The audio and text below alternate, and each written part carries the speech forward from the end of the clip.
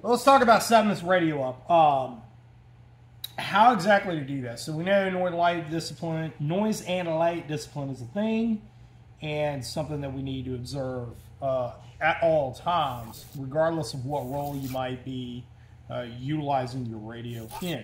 The first one is, of course, menu option number 14. What is this?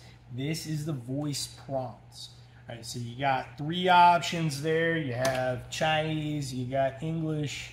You know, I kind of kind of make the joke is you know the the English voice is kind of the, the, the Chinese version of Siri or whatever in the radio. You go on and cut that off. Um, we don't need that. Let's cut that off. All right, the way that you go into menus in here, uh, it's literally the same across any of your radios pulled out. You know, I know a lot of you have a UV5R series. It's going to look like this. This is one of the uh, the DF F8 HPs. So this is putting out 8 watts. Uh, and we've got this in Brushbeater Store. But anyway, uh, how to configure the menu options themselves. Hit menu, scroll up, scroll down. You get to the one you're looking for, hit menu again, scroll up, scroll down. You're going to go through the options themselves, hit menu again to save it, hit exit, you're done. Yep. It's that simple, very, very simple to operate. It's not anything like, you know, Yaesu where you got to dig through 85 different button presses to get to what you're looking for, and then you still might not find it. It's like programming an old school VCR. Yep. I know you're probably too young for that. But uh, anyway, it, it, you know, just an aside. Menu options 29, 30, and 31. These are going to be your backlights. I cut these off. I don't need them if I'm operating this radio at night. Generally, I'm going to have night vision on. So if I've got my nods on my head, I'm rocking a of PVS 31s then I'm able to read the screen at night. Okay, so you can go on and cut those off too. Uh, 29, 30, and 31 is the transmission backlight, the receiving backlight. So if you're receiving, you're going to get it, get some uh, color options in there blue, orange, purple, so on and so forth. You can cut all of that off. Right? You don't need that on. Okay. So that leaves us with the others in the menu. Of course, when you first hit that menu button, pull this thing out of the box, trying to go zero to hero. Menu number zero is going to be your squelch setting. What is squelch? Squelch is a filter that is filtering out all that unwanted static. Right, so it's basically the sound threshold of when this radio receives a certain strong signal, it's going to activate the microphone or uh, the speaker rather, and you're going to hear it, right? So if it gets something that's below that noise floor and that noise threshold, then you're not going to hear it. I always set that squelch setting to three. Generally, you can go into some software programs like Chirp, for example, and you of monkey with those settings. I don't recommend doing that.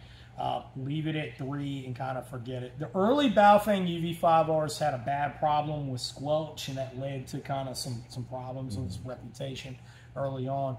Newer iterations have far superior filtering to that, especially uh, this UV1 or the uh, AR152 rather. This is uh, much, much better radio, miles better than, than a lot of the, the cheaper versions that are out there.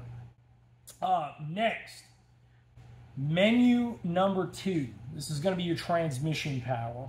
Right, there are three different settings on these and some of your higher powered models. You're going to have the one watt setting on low, generally four power or uh, four watts on the mid power setting, and then eight or ten watts on the high power setting. So, what are the different use cases for these three? When would you want to go low versus going high?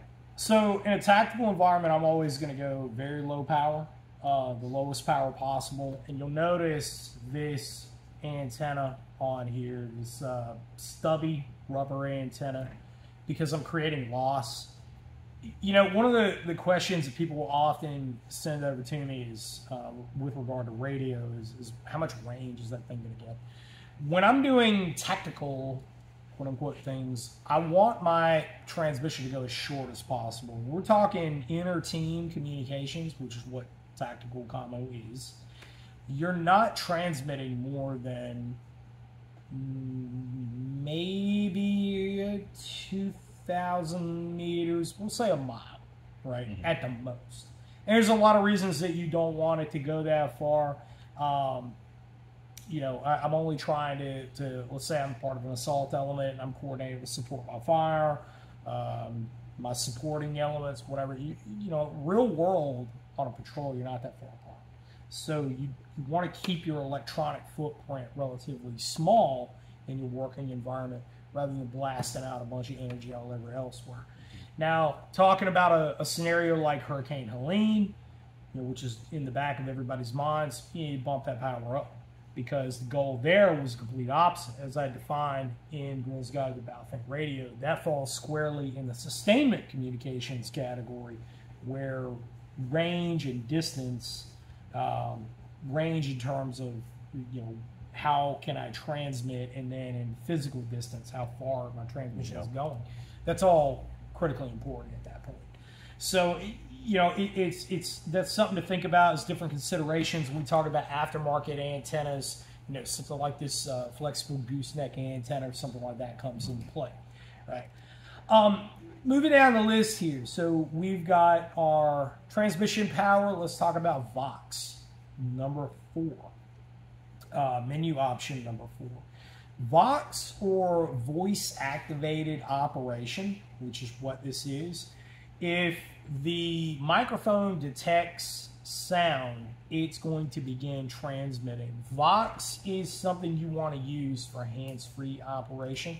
What I use it for in the digital operations chapter of the Guerrilla's Guide to the Battlefield is configuring digital data bursts with a tablet in conjunction with a tablet. So if you're running crypto, because yep, absolutely can, and we've got a video that's going to be coming up on exactly how to do that how you do that and how you accomplish that goal. Um, and you absolutely should be from ComSec standpoint. ComSec's always critically important. But uh, if if you're doing that with this radio, and that is, I think, the best case use for this radio is configuring it to be a data terminal, that is a consideration. So you need to have that Vox setting to one. Otherwise, you need to have that cut off because what it leads to is hot mics, mm-hmm. where you know, and we see it every scout course, we see it every recce course. Guys are running comms in their teams, and they have commo issues. I saw it many, many times overseas, where you know we're we're running uh, C headsets and Peltors and you know what have you, contacts, all stuff and uh, dudes are, are hot micing left and right and stepping all over each other, and it, it, just turns into a mess, right? Just keep that thing cut off. All right, next on the list, menu number seven, transmit and dual receive, or TDR. This is the one that I strongly recommend you have cut on. What this is going to do for you is it allows you to monitor two frequencies simultaneously. So you have your top one and your bottom one. You can transmit on one frequency and receive on another. It's a very simple ComSec technique that I think will pay off quite well for a lot of people. Basically, uh, when you think about crossband repeating, quote unquote, this is a similar in concept operation. It's not the same thing. Don't take words out of my mouth here. It's not the same thing, but it's close. Uh, the logic is the same. You're transmitting on one frequency, receiving on another. Right? So you could have one set the VHF, the other set the UHF, and bam, you know, the people you're talking to transmitting on a whole other frequency range, you're hearing both of those. Anybody's trying to monitor you, they might run into a problem. Mm-hmm. All right, might hear only half the conversation. Maybe, maybe not. Depends on their level of sophistication. That's a whole other conversation. All right menu 10 through 13. So 10, 12, and 13. CTCSS and DCS. So what is this? All right. Continuous tone coded squelch system, or CTCSS, is uh, better known as those annoying little privacy tones that you know you'll see your little Motorola's or Uniden handhelds or whatever they call them, privacy tones. Mm-hmm. That's not what they are. Right, what they actually are is, is you're transmitting a subaudible tone from one radio to another. Another radio is only going to wake up and mm-hmm. listen to what the other one is saying if it is receiving that. All right, so having a receiving CTC SS or a DCS, which is a digital coded squelch, similar in operation, uh, but slightly different. Having those subaudible tones can create a, yet another level of ComSec through jam resistance, but it is not, I say again, it is not going to prevent uh, anybody from eavesdropping on you. So calling it a privacy tone, I, I always thought was really funny. Uh, the more I learned about commo stuff and SIGINT and all that, it was, you know, no, that's not what it's doing for you. okay. But this also is a very common error vector that I've seen. People will cut those on inadvertently, uh, monkeying around in the settings. And look, the menus on this are just like anything else. If you go in there and you start monkeying around with something and changing settings, if you don't know what they are, that's just like opening the hood of your car and starting to take bolts out of everywhere, and you don't know what they are. How do you think that's going to work out? Not very well, right? And then you, you know, you hand it off to somebody who's, oh, he's a designated commo guy, he'll fix it. No, don't be a dummy. Okay, stop doing that. If you make a change, write something down, or better yet, reference the book. It'll help you out. All right. Going down the list here, menu number one, frequency step. The default setting on these is 25 kilohertz. All right, so you'll notice on your screen everything's measured in megahertz. All right, kilohertz is a little smaller because everything is in metrics when it comes to this, right? It's a little bit small, a lot of it small. All right, 25 kilohertz is uh, fairly wide bandwidth and that is usually the standard for your license free transmissions. Are going to be that wide. You can cut that down. Uh, narrow bandwidth is down to 6.25 kilohertz. You might want to cut that down the tune step really only matters if you're trying to use this as a scanner which we kind of talked about in our overview Yep. of SIGINT equipment video you can go back and check that out uh, 25 kilohertz is a good setting to have if you're trying to listen to, uh, you're trying to get it to scan quickly, basically, or more quickly than it normally would. All right, let's talk about menu number nine, the timeout timer.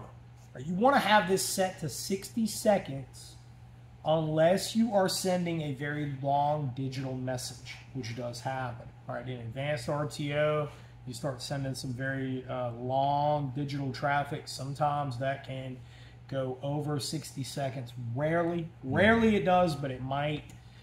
What you want to do is set this, keep it at 60 seconds. Why? Because let's say going back to uh, menu number four, Vox, and let's say we talked about uh, hot miking. You want to keep that hot mic mitigated as much as possible. So it what it does is it allows this radio to transmit a maximum of 60 seconds before it shuts it off manually and says you're not transmitting anymore until you unkey the mic and rekey the mic. Um, So that's an important setting. Sorry. So if you're using Vox and you run for that full 60 and it, you know, shuts you off, how soon until that Vox reactivates itself? You got to unkey the mic and rekey the mic. Okay. That's how it works. So it, you, you won't just get to continuously transmit. Um, that's important for jam resistance as well because, in my experience, most of the time that people have said, you know, oh, we're being jammed. Now, yeah, you're, you're doing it to yourself because you don't have any commo discipline. Oh, Mm-hmm. it's true. Seen it more than once. And I'm sure somebody will let me know down below that, you know, how you don't really know what I'm talking about, right? It's cool. I get it. All right, uh, going down the list here. Menu number eight, the Roger Beep. Probably the most annoying doggone function on this radio. Make sure you cut that off. You get laser eyes from me if I hear that. It's the most annoying thing in the world. You do not need a Roger beep on a radio. I don't even know why they included it in there. It's ridiculous. Also, they include the flashlight. Just an extra function. Yeah, that's why I popped the radio open and desolder it. No more flashlight. Mm-hmm. That simple. Last and certainly not least, if you spent any amount of time as a trigger puller in uniform, and I do not mean LARPing on the, the uh, airsoft field, you'll know about the Z function on every radio. Boy, top secret technology.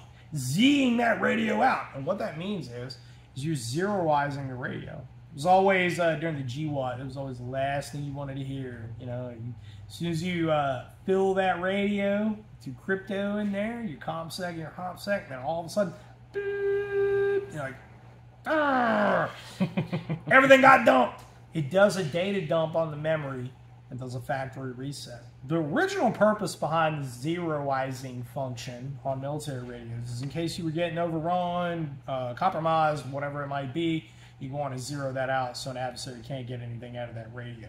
Well, these radios have that function as well, and it's menu option number 40. That is the factory reset. Now, keep in mind when you do the factory reset, there are some reasons you would want to do it. Maybe if some settings get off, this is a software defined radio. Some things get off, maybe a little out of whack in there. It's just like your computer, you do a factory reset on it every so often. And then maybe it kind of sort of might work a little bit better, right? Radio does the same thing. It's going to dump everything out of the memory, all those things that you shouldn't have programmed in there, but did. You know, all the all, all those fun people and super secret channels are going to talk to you. Right? All my local ham repeaters. That's all going to get dumped out of there, and then your radio is going to start speaking Chinese to you. Don't worry, it's not going to blow up. it's a fun joke, right? Oh, is, is my radio going to blow up? No, it's not. Believe me, the Chinese are not putting PET in in these radios, okay? And if they were, I'm pretty sure somebody would have known about it before now. anyway, that zeroizing function is something to pay attention to. Yeah. Just saying. Guerrilla's Guide to the Battlefield Radio was written specifically with the warfighter in mind.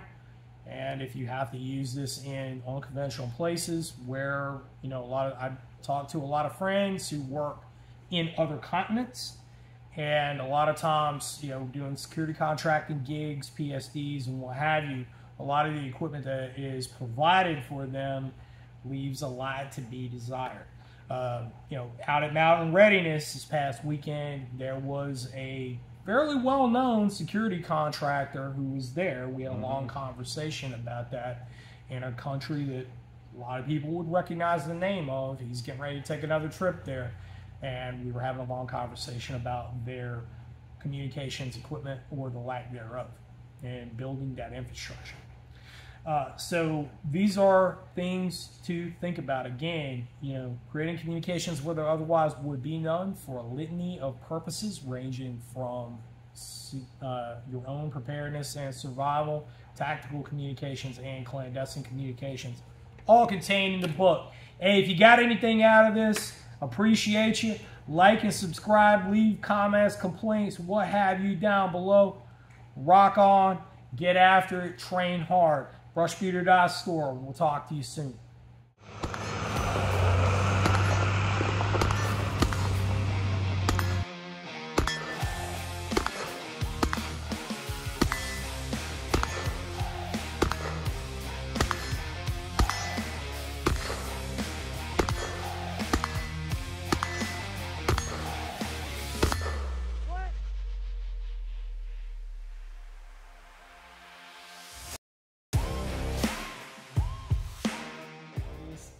Like, I don't use a radio that way. 90%. It's called The Guerrilla's Guide to the Battlefield Radio, you effing moron. What did you think it was written for? That simple, you know. Sorry, it's not a book about ham radio. Can you use some of the stuff? Sure.